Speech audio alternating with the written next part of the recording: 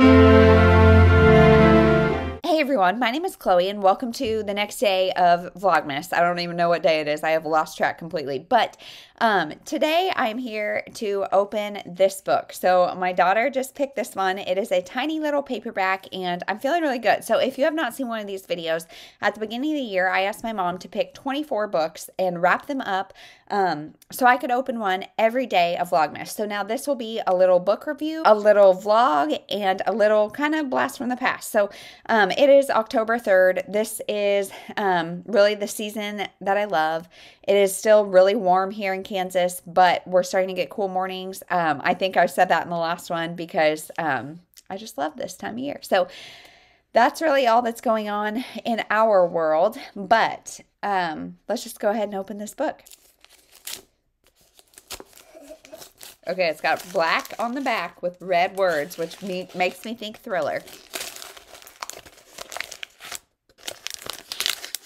Oh, okay. The back says from the author of The Night Olivia Fell, which I love that book. So, Behind Every Lie by Christina McDonald. I had wanted this book for sure. So, this one, I can't remember what it's about, but this feels cool. Like, I almost thought mom bought like a, a super used copy that was taped here, but um, that's not what happened. It's supposed to be like shattered glass. And it says, if you can't remember it, how do you prove you didn't do it? So, I think this is a girl, uh, Eva Hansen, wakes up in the hospital after being struck by lightning and discovers that her mother, Kat, has been murdered. Eva was found unconscious down the street. She can't remember what happened, but the police are highly suspicious of her. Determined to clear her name, Eva heads from Seattle to London, Kate's, Kat's former home, for answers. Um, as she unravels her mother's carefully held secrets, she realizes um, her that she doesn't want to know the truth. So, told in alternating perspectives from Eva's search for answers and Kat's mysterious past, Christina McDonald's Behind Every Lie is complex and emotionally intense. Cannot wait. I, like I said, loved Christina McDonald's other book uh, that I read. And this, like, I've really been craving thrillers lately. I've really been in like a romance contemporary streak, and especially a lot more YA than lately than like usual. And so this is perfect. This is perfect. It's 300 and something pages, 306. Perfect, perfect, perfect. So that is that. I'll let you know what I think.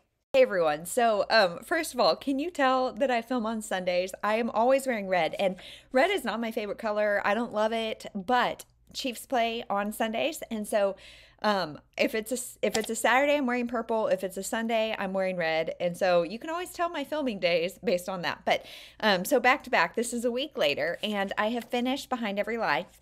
And I found this little note from my mom inside. It says, because I was on your want list. And um, love this. So thanks, mom. Because I've been asking her, like, how did you think of these? But this one was on my want list and it is so good. So this is um, about this girl, Eva, I think is her name.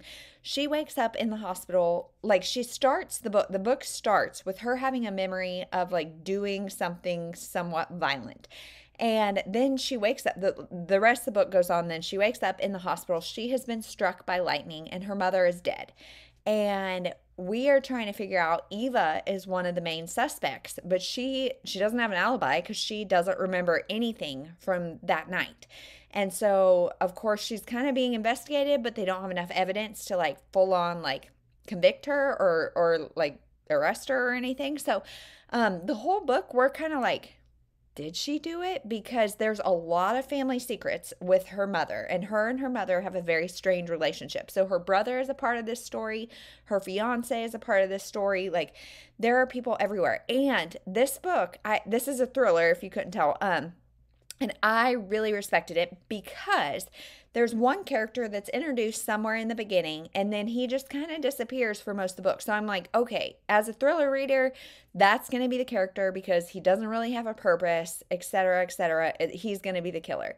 And this this took me by surprise. Um it wasn't like an, an epic um twist, but it took me by surprise and it wasn't the formula that I've read so many times before. So I would definitely recommend this one. Um, if you're if you like books where you're not really sure, I mean, the person who it was is obviously like it was somebody in my head that it could have been.